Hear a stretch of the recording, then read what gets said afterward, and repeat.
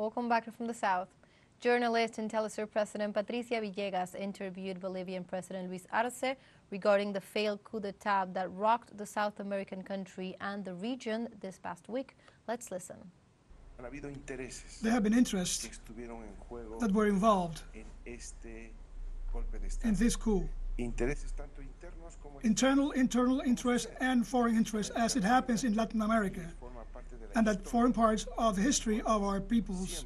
There always our natural resources are one of the most more coveted elements, especially by those who don't have them.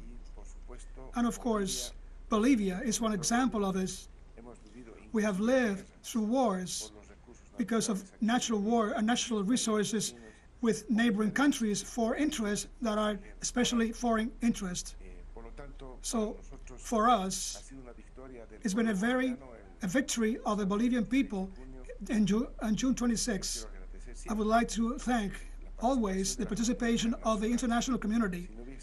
If it had been the solidarity, the immediate solidarity that we received from various countries that supported the government, democratically elected government for the Bolivian people fighting for the democracy and for this coup, this, without a doubt, plus everything else, the actions that we took from the moment that we knew to quell, to stamp out this coup, att coup attempt, and the people of Bolivia mobilized without this trilogy, I see that it was very impossible for us to have uh, won that victory on the June the 26th together with the people and this international cooperation.